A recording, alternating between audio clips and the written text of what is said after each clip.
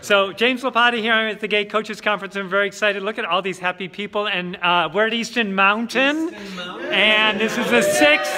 Yay! So isn't this great? So, so we're happy.